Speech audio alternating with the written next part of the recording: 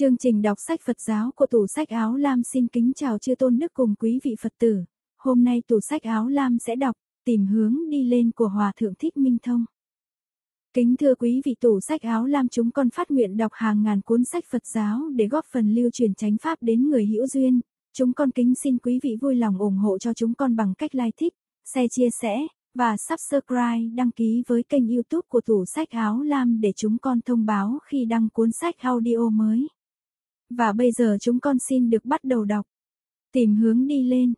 Có một bài thuyết pháp của Đức Thế Tôn mà không thấy sách sử ghi lại, bài thuyết ấy cũng tại vườn nai, sư ba la nại, được nói ra trước bài kinh tứ diệu đế chỉ vài giờ. Bài thuyết pháp ấy không lời. Khi Đức Thế Tôn bước từng bước chân an lạc trở về vườn nai, các vị trong nhóm ông Kiều Trần Như đã tiếp nhận được ánh sáng hạnh phúc đó và đã chuyển hóa được năng lượng tiêu cực đang phát khởi trong tâm bằng cách quỳ dài xuống đất để đón tiếp. Không một lời nào mà như sấm sét rền vang, uy lực của sự chứng ngộ đã chinh phục được tất cả mọi ngoại cảnh dù điên đảo nhất. Đức Thế Tôn vẫn từ hòa trong chiếc y vàng cũ kỹ, bước tới nhẹ nhàng hơn cả loài nai chúa trong vườn, đưa cánh tay từ mẫn đến để nâng đỡ những người bạn cố chi đang thủ lễ. Trong năm người đang quỳ sát đất, ai cũng nhận được bài học tình thương màu nhiệm này từ một bậc đạo sư cao cả. Những bước chân an trú trong chánh định, những cánh tay từ mẫn của Đức Thế Tôn và các vị thánh tăng qua nhiều thế hệ vẫn tiếp tục biểu hiện để giáo hóa hàng vạn chúng sanh sau này đến bờ giải thoát. Ta hãy ghi nhận điều này thật sâu sát để biết rằng ba tạng giáo điển mà Đức Thế Tôn đã nói ra chỉ là phương tiện thôi. Sau này nhiều vị tổ sư đã tranh cách phô diễn giáo pháp bằng ngôn từ diễm lệ, sợ người nghe kẹt vào nên có khi hét, có khi đánh, có khi lặng thinh câm lời mà vẫn chuyển hóa tích cực tập khí của người học đạo, mở con mắt tránh kiến của họ ra và đẩy họ tới chân trời thanh thang giải thoát. Tổ sư muốn chúng sanh quay về với chính mình để thực tập. Bằng tất cả tình thương, các ngài không muốn bất kỳ một ai mê muội rong ruổi đắm đuối tìm cầu sự giải thoát trong ngôn từ, văn cú, vì trong đó không có chất liệu nào là giải thoát cả. Áp dụng được như vậy thì mới xứng đáng đứa con giỏi của Đức Thế Tôn, tiếp nối Thế Tôn với trách nhiệm hoàng pháp. Chúng ta nhất định không để cho ngôn từ, văn cú lừa dối và kềm hãm ta.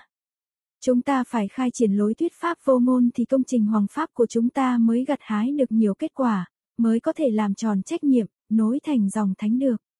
Đi bất cứ nơi nào thì ta cũng bước những bước chân an lạc như đang đi trong cõi tịnh độ.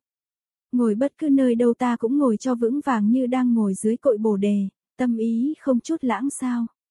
Trong khi nằm, trong khi nói, trong khi ăn, đều có hỷ có lạc thì chúng ta không cần phải lo ngại gì thêm nữa khi nghĩ tới chuyện hoàng pháp. Còn nếu trong các uy nghi đó, không có sự thành công, chúng ta vẫn còn đi trong tương lai, ngồi trong quá khứ, nằm trong mộng, đứng trong mơ thì chúng ta chưa đủ tư cách thay thế bao thế hệ tổ tiên của chúng ta để đi chia sẻ giáo pháp giải thoát của Đức Thế Tôn. Giáo pháp của Đức Thế Tôn có công năng giải thoát, người ta sẽ không tin nếu mình không có chút giải thoát nào hết. Mình không giải là một nhà truyền giáo. Mình mới học xong vài bộ kinh, thông suốt vài bộ luận, thuộc lòng vài bài thi kệ mà vội vàng bước ra thuyết giáo thì tội cho Đức Thế Tôn quá, tội cho gia nghiệp đạo Phật quá. Chúng ta hãy sống với đời sống của chính mình. Đời sống của chính mình không phải là đời sống của một pháp sư hay một giảng sư, mà là đời sống của một tu sĩ, một hành giả. Một hành giả có rất nhiều sự tự do. Hành giả không bị ái dục, không bị tà kiến, không bị lối hưởng thụ trần tục lôi kéo. Hành giả có sự bảo hộ của giới luật, vì giới luật có công năng bảo vệ sự tự do, nên giữ được điều giới nào thì ta có tự do nơi điều giới đó. Ví dụ như giữ gìn giới dâm dục thì hành giả sẽ được vững chãi đối với sự quyến rũ của ái dục, không có thứ cám dỗ nào thuộc về ái dục có thể xâm phạm hay làm nhiễm ô được hành giả. Giới luật chính là sự thực tập chánh niệm, ý thức được điều này không nên làm, điều kia cần nên gìn giữ không cho sai phạm, là năng lực hùng hậu để đưa hành giả vào chánh định rồi phát sinh trí tuệ. Có trí tuệ thì không còn sợ lạc vào tà kiến. Bước vào con đường thuyết giáo làm chủ được tư duy và nói năng, không bị xa lầy vào tà kiến thì chúng ta đã đủ sức mạnh để làm hết tất cả những gì mà người hoàng pháp cần phải làm. Ai là người hoàng pháp? Câu trả lời là tất cả con của Đức Thế Tôn. Con của Đức Thế Tôn thì phải biết đi như Đức Thế Tôn đã đi, ăn như Đức Thế Tôn đã ăn, ngồi như Đức Thế Tôn đã từng ngồi. Con của Đức Thế Tôn thì phải đủ sự vững chãi, thành thơi và tình thương lớn. Con của Đức Thế Tôn thì phải thông minh, không bao giờ lặp lại lời Thế Tôn đã nói như một cái máy, cho dù đó là những lời thuộc về đạo đế, là đệ nhất nghĩa đế. Con của Đức Thế Tôn là phải đi tới sự chứng đạo như Đức Thế Tôn đã tới. Con của Đức Thế Tôn phải là một với Thế Tôn. Chúng ta không ngồi trong nhà của Thế Tôn, không mặc áo của Thế Tôn, không ăn cơm của Thế Tôn, không biết sử dụng ngôn ngữ từ hòa của Thế Tôn, không có khả năng lắng nghe bền bỉ của Đức Thế Tôn thì chúng ta không đủ tư cách để thay mặt Đức Thế Tôn làm bất cứ điều gì cả. Đức Thế Tôn không cho phép chúng ta dẫn dắt con cháu chúng ta đi tới chân trời giải thoát bằng con đường ngôn luận, lý thuyết xuông. Đức Thế Tôn sẽ cổ trách nặng nề nếu chúng ta đổ thừa tất cả những gì chúng ta nói ra đều là tuệ giác của Đức Thế Tôn, còn chúng ta chẳng có gì cả. Chúng ta hãy tìm hướng đi lên và mở đường cho thế hệ con cháu tiếp nối có một tương lai.